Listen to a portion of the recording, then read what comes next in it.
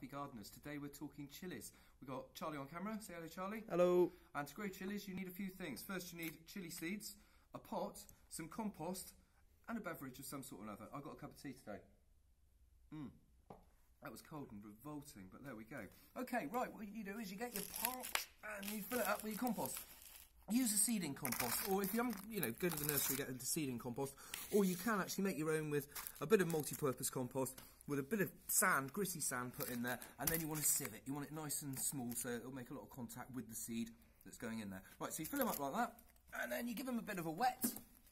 Get a bit of water on there, not a lot, just to dampen off the top a bit, and then give them a bit of a knock, knock the air out of it, and then we get our seeds in.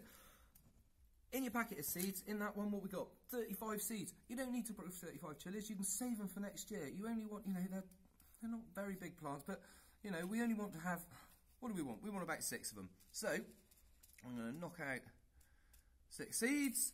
And then in my pot, which you'll notice is just something I got from the supermarket. It had something in it. We're going to reuse it. I've had these things that I've reused over the years, and I've had them for like sort of 10 years. This is quite a new one, though.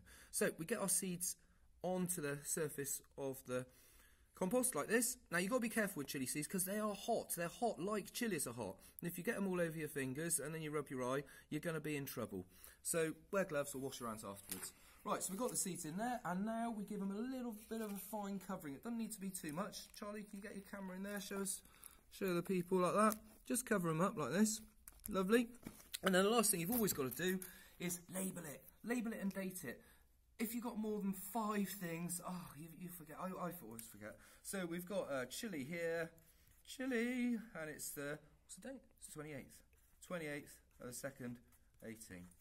There we go.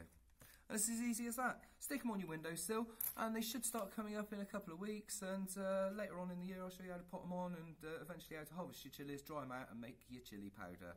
This is Rob Phoenix at stinkyditchnursery.co.uk. Happy gardening.